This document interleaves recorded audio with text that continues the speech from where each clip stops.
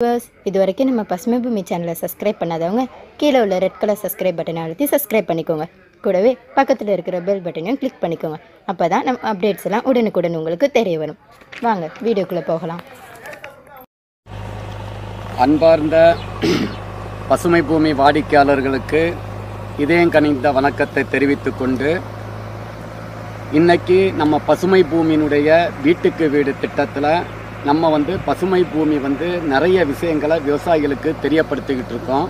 அந்த வகையில் இன்னைக்கு நம்ம ஒரு புத்தம் புதிய தலைப்போட எல்லாருமே தென்னை சாகுபடி செய்யணும்னு ஆசைப்படுறாங்க. என்ன காரணம் சொன்னால் எல்லாருமே தென்னை மரத்தை வந்து சாகுபடி செய்யணும்னு ஆசைப்படுறாங்க.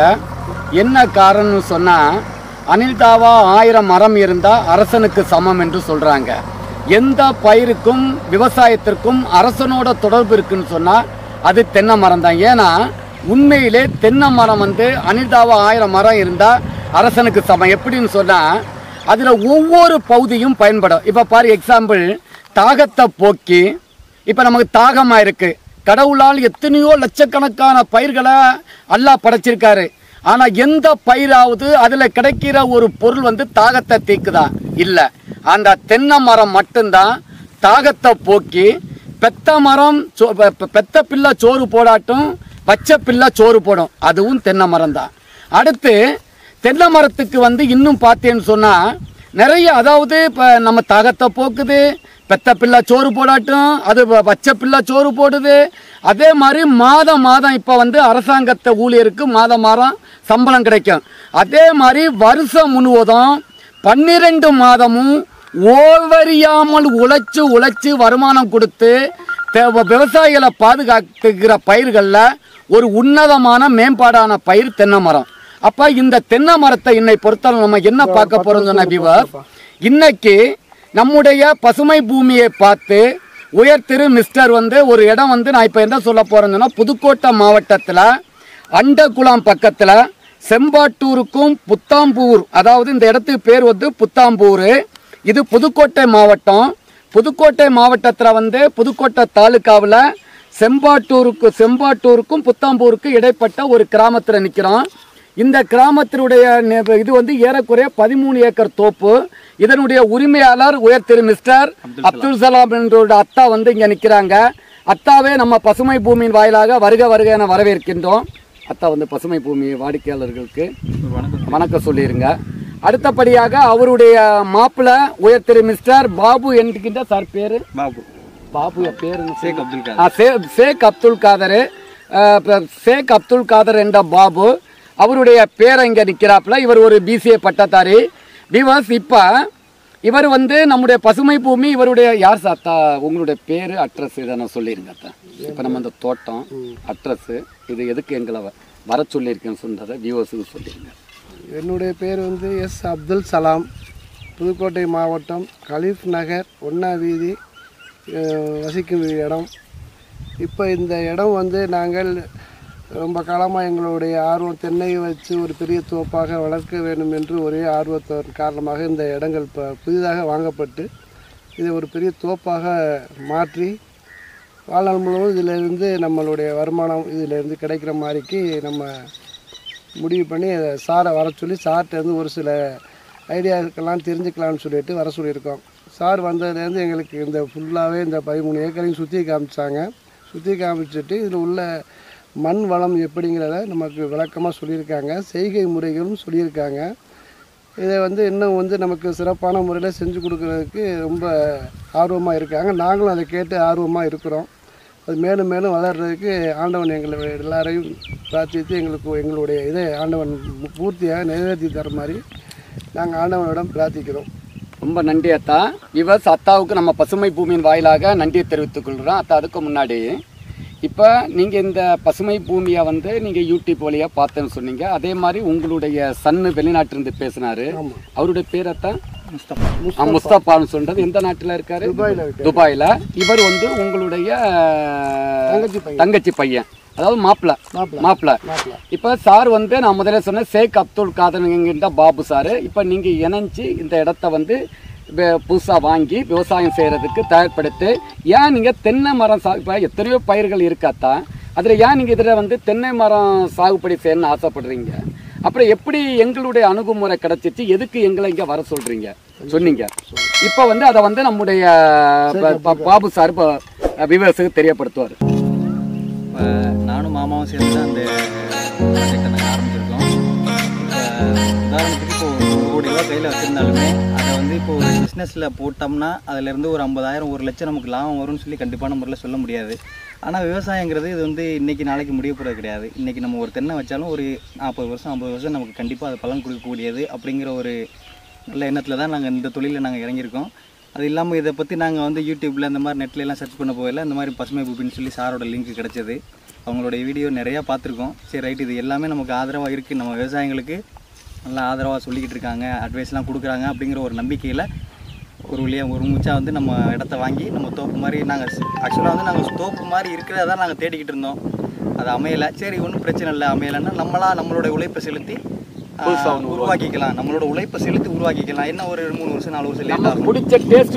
செய்துட்டு போயிடலாம். அதேதான். அந்த காரணத்தினால தான் சரி நம்ம இந்த மாதிரி ஒரு நல்ல மண் வளம் உள்ள ஏரியாவை பார்த்து தண்ணிக்கு எந்த மாதிரி நம்ம பஞ்சமும் கிடையாது. இந்த மாதிரி உங்களை மாதிரி அனுபவசாலிகளோட ஆலோசனை கேட்டு நம்ம நடந்துக்கலாம் அப்படிங்கிறதுக்காக தான் சார் இந்த மாதிரி ரொம்ப சந்தோஷம் சார். இப்போ பசுமை பூமி வாய வீவர்ஸுக்கு இப்போ வந்து இப்போ நீங்கள் வந்து என்ன பசுமை பூமி இப்போ என்ன இங்கே வரவழைச்சிருக்கீங்க என்ன இது வந்து எதுக்காக இங்கே என்ன இங்கே வரவழைச்சிருக்கீங்க? அதாவது எங்களுக்கு பேசிக் எங்களுக்கு தென்னையை பத்தி பேசிக்கே தெரியாது. ஆ வெரி குட் மொத்தத்துல எங்களுக்கு பேசிக்கே தெரியாது. அதுல இருந்து நல்லா காய் பிடித்து நல்லா பிடிக்க சொன்னா நல்லபடியா பிடிப்போம். சரி. சாரை வந்து அவர் நீங்க ஒரு அனுபவசாலி. அது இல்லாம வந்து நல்ல ஒரு சேனல்லாம் இது ஓபன் பண்ணி நல்லபடியா செஞ்சுக்கிட்டு இருக்கீங்க.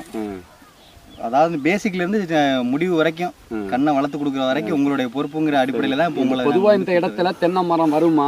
ஆமா சார். தென்னை மரம் இந்த? இடத்துல வந்து தென்னை வருமா. எத்தனைக்கு எத்தனை இடைவெளி வைக்கிறது? ஊடு பயிர் என்னென்ன? இதுக்கு ஊடு பயிர் என்ன போடலாம்? இதுக்கு என்ன சார் வேலி பயிர்? என்னென்ன. வைக்கலாம்? அந்த இதுக்காக தான் மெயினா நாங்க உங்களை- மெயினா நீங்க வர சொன்னது இதுக்காக இந்த இடத்தினுடைய மண் வளம் எப்படி இருக்கு? இதை என்னென்ன பயிர் போடலாம்? ஆமா. இதை கலந்து பார்க்கறதுக்காக வர பண்ண சொல்லியிருக்கேன் சார். சரி ஓகே சார் உங்களுடைய மொபைல் நம்பர் சொல்லிடுங்க sir. Nine zero nine zero nine five three nine five three one nine one nine eight five four eight five four ஆமா ஒரு கோட் சொல்லுங்க sir nine nine zero nine zero nine five three nine five three one nine one nine eight five four eight five four அத்தா உங்க mobile number அத்தா? Nine double four nine double four three one three one eight four eight four eight six eight six zero. Zero. இப்போ தான் உண்மையிலே நீங்கள் ரெண்டு பேரும் இந்த இடத்த நீங்கள் வாங்கி இதனுடைய நான் வந்து நம்ம ஏறக்குறைய ஒரு ரெண்டு மணி நேரமாக நம்ம இதெல்லாம் சுற்றி பார்த்துக்கிட்டு இருக்கோம். உண்மையிலே உங்களுடைய பாச பிணைப்பு இருக்குது பாருங்கள் அந்த மாப்பிள்ளை அந்த உறவு.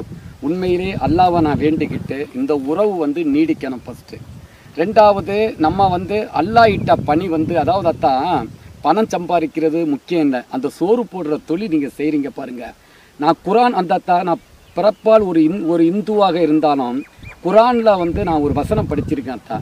அதாவது உன் உன்னை படைப்பதற்கு முன்னாடி உனக்கு தேவையான உணவை நான் இங்கே படைச்சிருக்கேன் அது மிகப்பெரிய ஒரு அற்புதமான வார்த்தை தான் இப்போ எல்லா மதத்திலும் அந்த வார்த்தை வரல. அதாவது உன்னை படைப்பதற்கு முன்னாடி உனக்கு தேவையான உணவை படைச்சிருக்கேன் நீ உண்ணும் உணவின் என் பெயர் பொறிக்கப்பட்டிருக்கிறது. நீ உண்ணும் உணவில் என் பெயர் அது எவ்வளோ பெரிய வார்த்தை அத்தா. அப்போ நீங்கள் விவசாய தொழில் தான் அத்தா. உண்மையான ஒரு புனிதமான தொழில் நான் சொல்கிறேன் தயவு செய்து பணம் படைத்தவர்களே நீங்கள் எந்த தொழிலில் போடுறீங்களோ இல்லையோ உணவு கொடுக்கின்ற அல்லாஹ் சொன்ன கோட்பாட்டின்படி எந்த மதமாக இருக்கட்டும் எந்த ஜாதியாக இருக்கட்டும் எந்த இனமாக இருக்கட்டும் எந்த மதமும் மனிதனை நல்வழிப்படுத்துறதுக்காக தான் போதனைகள் போத்திருக்கு. ஆக அந்த நல் கருத்துக்களை நம்ம எடுத்து உணர்வோடு நம்ம ஒன்றிணைந்து ஜாதி மதத்துக்கு அப்பாற்பட்டு நாம் வந்து உணவு படைக்கிற தொழில் அற்புதமான தொழிலத்தான் அதனால் அத்தான் உண்மையிலே உங்களை நான் கை கூப்பிட்டு நீங்கள் ரெண்டு பேரும் எடுத்த அந்த முடிவுக்கு நான் கட்டுப்பட்டு அதுக்காக தான் அத்தான் நான் இவ்வளோ நேரம் பார்த்தேன். உண்மையிலே அத்தான் நான் ஒரு தோட்டத்துக்கு போனால் ஆஃப் அன் அவர் ஒன் ஹவருக்கு மேலே இருக்க மாட்டேன். பட் அந்த தோட்டத்தில் நான் உள்ளே ஆகும்போதே அத்தா இந்த மண்ணை பார்த்ததும் இந்த மண்ணு தென்னைக்காகவே படைக்கப்பட்ட மண் ஆமாத்தா அது எனக்கு ரொம்ப ரொம்ப பிடிச்சிருந்துச்சு. அடுத்து அத்தா நான் எல்லா தோட்டத்துக்கும் போகும்போது சார் வாங்க சார். நாங்கள் எங்களுக்கெல்லாம் தென்னை பற்றி எதுவுமே தெரியாது சார். ஒரு எல்கேஜி லெவலில் இருந்த எங்களை தென்னையில் வந்து போடணும் தென்னை சாகுபடி செய்யணும். தென்னையில் இவ்வளோ லாபகரமான ப விஷயங்கள் இருக்குது தென்னையில் இவ்வளோ பூச்சி நோய் கட்டுப்பாடு. இதெல்லாம் சார் எங்களுக்கு தெரியாட்டும். உங்கள் வீடியோவை பார்த்து நாங்கள் வண்டு நாங்கள் பூச்சி எடுத்தோம் நாங்கள் பராமரிச்சுக்கிட்டு இருக்கோம். இதெல்லாம் சொல்லும்போது அத்தா உண்மையிலே சொல்கிறேன் ஒரு அரசாங்கம் செய்கிற வேலையை அந்த பசுமை பூமி செய்துட்டு செய்து கொண்டிருக்கிறது. இதுக்கு வந்து உண்மையிலே சொல்கிறேன் கடவுள் வந்து இன்னும் இதை வந்து வலிமைப்படுத்தி இந்த பணியை தொடர்றதுக்கு எல்லா வல்ல இறைவன் எங்களுக்கு அருள் கூற வேண்டும் என்று கூறி உண்மையிலே அத்தா இந்த மண்ணை பொறுத்தளவத்தா அதே மாதிரி அத்தான் நான் வரும்போது நீங்கள் ரோடு வசதி ரெடி பண்ணிட்டீங்க. பொதுவாக தான் நான் எதுக்கு இந்த விஷயத்த நான் வந்து வலியுறுத்தி சொல்ல விரும்புகிறேன்னு சொன்னாத்தா பொதுவாக எல்லாரும் தென்னையை சாகுபடி செய்யணும்னு ஆசைப்படுறாங்க சார். பட்டு தென்னை சாகுபடி பண்ணுறதுக்கு முன்னாடி தயவு செய்து விவசாய பெருமக்களுக்கு நான் சொல்கிறது என்னன்னு சொன்னால் அந்த மண் வளம் ரொம்ப ரொம்ப முக்கியம் தான் எல்லா மண்ணிலையும் தென்னை வளராதத்தா அதாவது தென்னைக்கு வந்தாத்தா தண்ணியும் வேணும் அதே நேரத்தில் காய்ச்சலும் வேணாத்தா தண்ணி இல்லாத விவசாயிகளும் அதிகமாக தண்ணி தேங்கி வடிகால் வசதி இல்லாத விவசாயிகளும் தென்னை மரத்தை தயவு தேர்வு தேர்வு செய்யக்கூடாது. அதே மீறி நம்ம தே- தேர்வு செய்கிறேன்னு சொன்னால் இருக்கிற தண்ணீருக்கு நம்ம எவ்வளோ ஏரியா சாகுபடி செய்யலாம்? என்னென்ன தொழில்நுட்பங்கள் சொட்டு நீர் பாசனம்? அதே மாதிரி வடிகால் வசதி இல்லாத ஏரியாவில் இருந்தால் தென்னங்கன்று நம்ம எப்படி நடலாம்? எப்படி வடிகால் கொடுக்கலாம்? ஏன்னு சொன்ன பார்த்தா நம்ம வந்து ஒரு கஷ்டப்பட்டு இடத்த வாங்கி கடனை வாங்கி வட்டிக்கு வாங்கி இந்த ஒரு பத்து இப்போ வந்து ஒன்று லட்ச பதிமூணு ஏக்கரில் ஒரு ஆயிரம் தென்னை மரம் வைக்கிறோம். ஒரு லேண்ட் எப்படி பார்த்தாலும் ஒரு பத்து லட்சம் ரூபா. இப்போ ஏறக்குறைய பதிமூணுக்கு ஒரு கோடியோ முப்பது லட்சம் ரூபா இந்த இடத்தினுடைய வேல்யூ தான் இதை லெவலிங் பண்ணி லேண்ட் பண்ணி இந்த பைப் லைன் போட்டு ரோடு போட்டு இது எல்லாமே நீங்கள் பக்காவாக பண்ணியிருக்கீங்க தான் முதல் செய்ய வேண்டிய வேலையே இதான் தான் இதுக்காகவே உங்களுக்கு நான் நன்றி சொல்கிறேன் என்ன காரணம் சொன்னா தான் இந்த தென்னைக்கு மெயின் தேவை இப்போ ஒரு கோடியோ முப்பது லட்சம் ரூபா நம்ம முதலீடாக போடுறோம் தான் அடுத்து தென்னங்கடை நட்டு அதுக்கு உரம் வச்சு குப்பை வச்சு மருந்து வச்சு எப்படி ஒரு பெத்த பிள்ளைய நம்ம வந்து வளர்த்து படிக்க வச்சு வேலைக்கு அனுப்புகிறோமே அதே மாதிரி தான் தான் தென்னை மரம் வந்து வளர்த்து காய்ப்பு வர மினிமம் மூணு இந்த வருஷத்துக்குள்ள நம்ம ஒவ்வொரு பிள்ளையும் தென்னம் பிள்ளையாக பார்க்கணும்.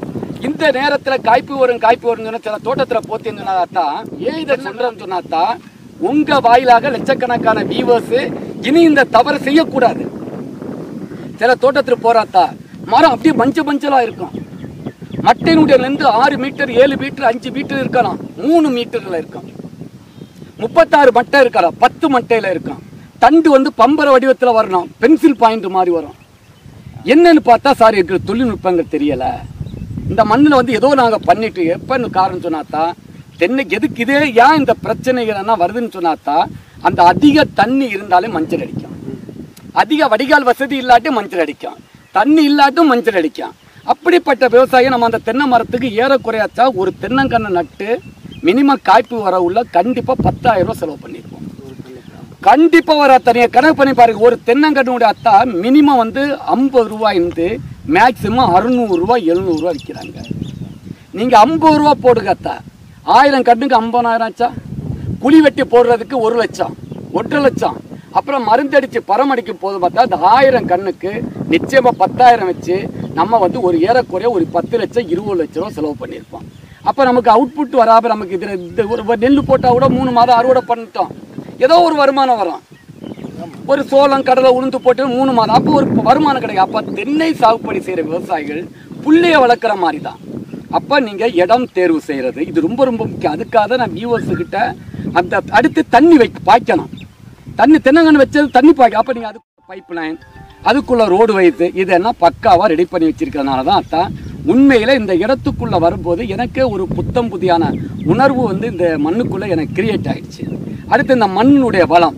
அதே மாதிரி அத்தா தென்னையினுடைய மண்ணை வந்து வளமான மண் வளம் இல்லாத மண்ணை உங்க வாயிலாக நான் சொல்றேன் அத்தா. எந்த மண்ணில் அத்தா வடிகால் வசதி இல்லாத இடத்த எப்படி பார்க்கணும்னு சொன்னா ஒரு கோரையும் அருகம் புல்லு எங்க அதிகமாக வளர்ந்துருக்கோ? கோரையும் அருகம் புல்லு எங்க அதிகமாக வளர்ந்துருக்கோ அந்த இடத்துல தண்ணி வந்து ஈரப்பதம் இருந்துக்கிட்டே இருக்கலாம். அது மாதிரிப்பட்ட இடங்கள்ல தென்னை வந்து ப்ராப்பராக வராது. ஆனால் உங்கள் மண்ணை இப்போ நம்ம பார்க்கும் அத்தா இங்கே பாருங்க மேலே வந்து சரள மண்ணத்தான் அதாவது ஐயா இங்கே பாருங்க இது வந்து நமக்கு கிலோ லோம்னு சொல்கிறது இது.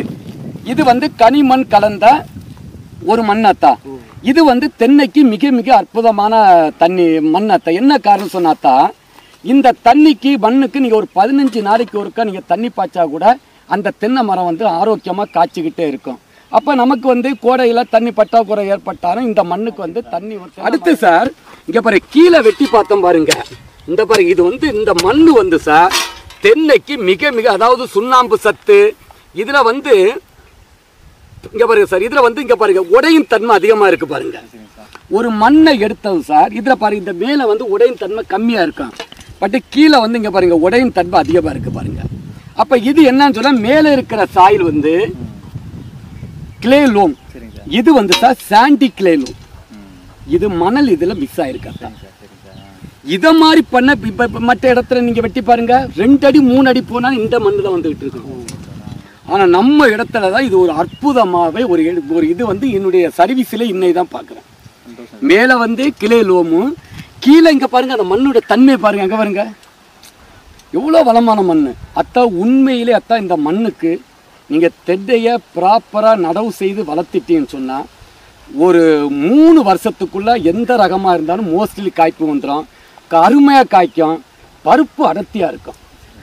பருப்பு திக்னஸாக இருக்கும். என்ன சத்து கூட இருக்கும். அப்போ இனி வந்து அத்தா இது வந்து நம்ம மண்ணுக்கு வந்து கிடைத்த மிகப்பெரிய பொக்கிசாத்தா கடவுள் ஆமாம் கடவுளுக்கு நிச்சயமாக நம்ம நன்றி சொல்லி தான் ஆகலாம் அடுத்தடுத்தா நீங்கள் என்ன செய்யணும்னு சொன்னால் நான் சொன்ன மாதிரி மூணு வகையான வருமானத்தா. வேலி ஓரம் கம்ப்ளீட்டாக மரப்பயிர்களை வைங்க.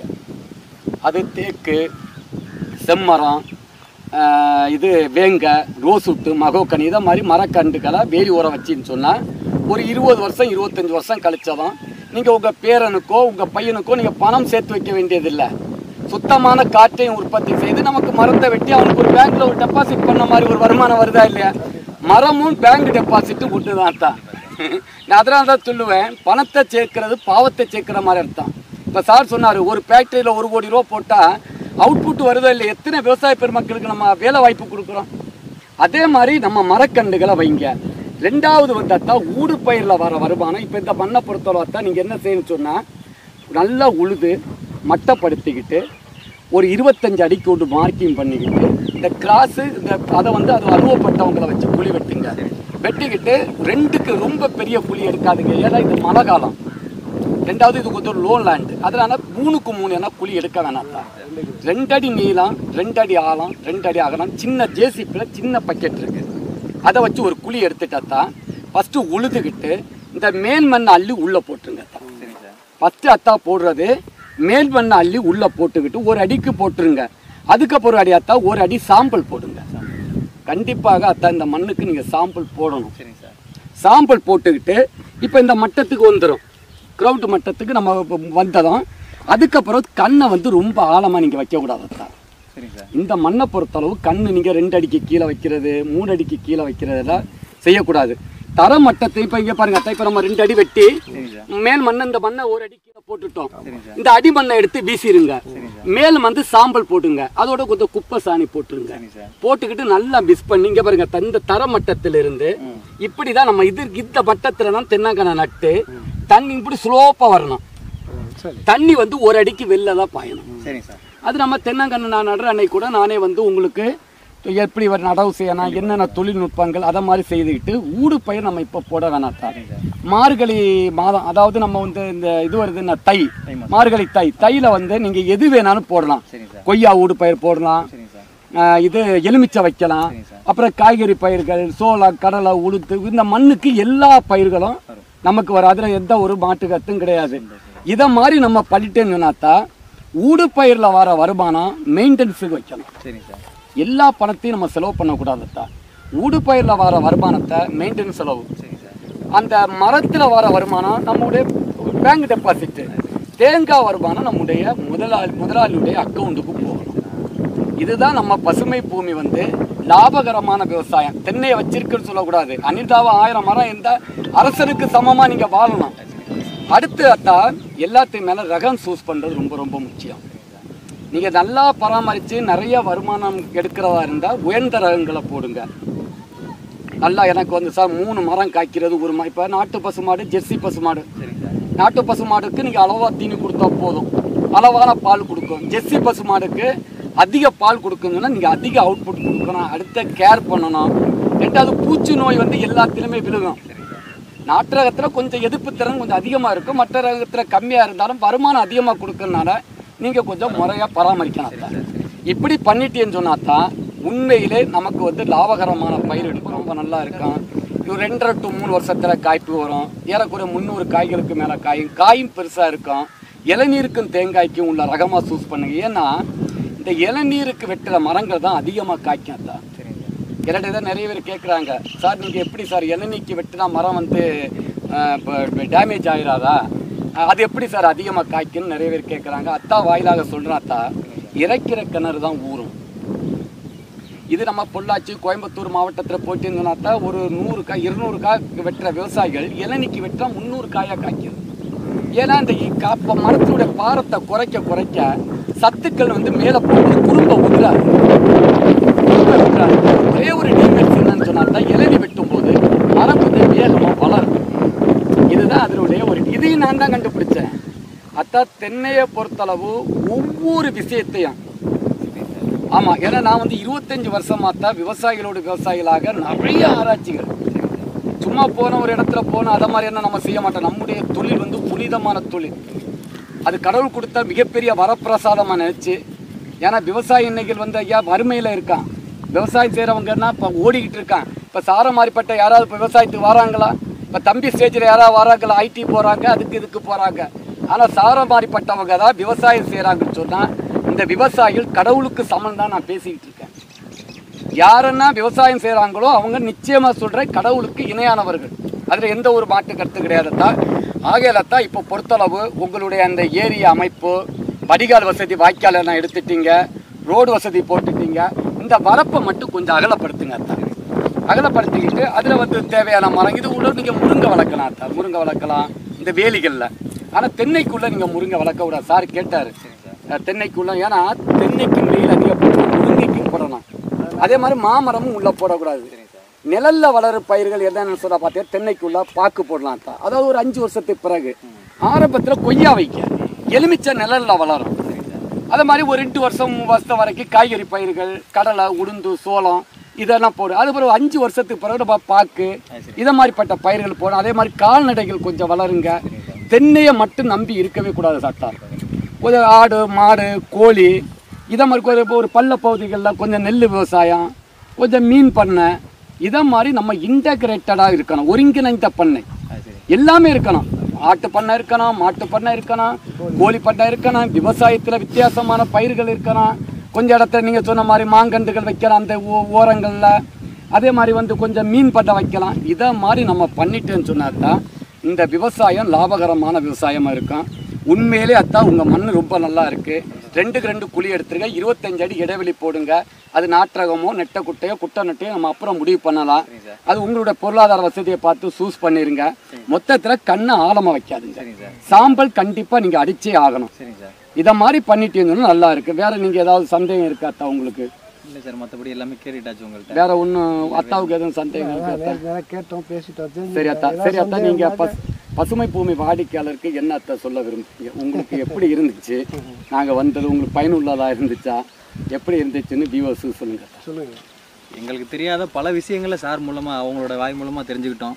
நாங்கள் வந்து தென்னைன்னா சும்மா சாதாரணமாக குளிர் வண்டி வச்சுட்டோம்னா போதும் அதுவாக வளர்ந்துரும் அப்படிங்கிற மாதிரி தான் நினச்சோம். அதில் உள்ள என்னென்ன நுட்பம் நுட்பம் எல்லாமே வந்து சார் சொல்லிட்டாங்க.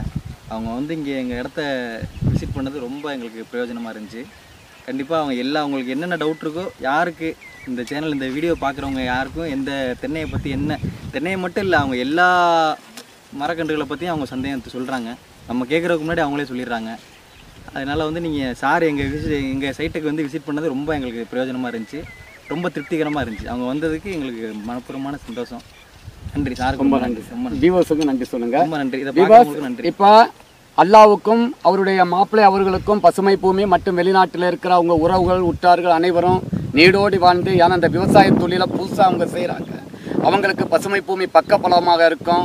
எல்லா எல்லா கடவுள்களும் கடவுள் கடவுளும் அவர்களுக்கு அனை அனைத்து அருள்வாசிகளும் வழங்கும்படி கூறி இதே மாதிரி விவசாயிகளை பசுமை பூமியை நீங்கள் அணுகி தென்னங்கட்டு நடுறதுக்கு முன்னாடி என்னென்ன தொழில்நுட்பங்கள் எப்படி பராமரிக்கிறது பூச்சி நோய் கட்டுப்பாடு எல்லாமே நான் இலவசமாக பசுமை பூமியில் பத்து பேர் வேலை பார்த்துட்டு இருக்காங்க தயவு செய்து நீங்கள் எனக்கு எந்த பீஸும் கொடுக்க வேண்டியதில்லை. நான் இலவசமாக தான் சேவை பண்ணிட்டு இருக்கேன் நான் ஃபீல்டுக்கு வரேன்னு சொன்னால் எனக்கு பெட்ரோலுக்கு மட்டும் நீங்கள் காசு கொடுங்க.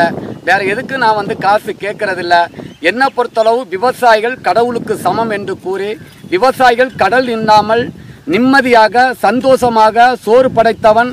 நான் முதலே சொன்ன மாதிரி உன்னுடைய உணவில் என்னுடைய இது வந்து பொறிக்கப்பட்டிருக்கிறேன்னு சொன்ன அல்லாவுக்கு நம்ம கட்டுப்பட்டு இந்த இவங்களுடைய விவசாயம் மேன்மேலும் வளரட்டும் என்று கூறி விடைபெறுகிறேன். நன்றி வணக்கம்.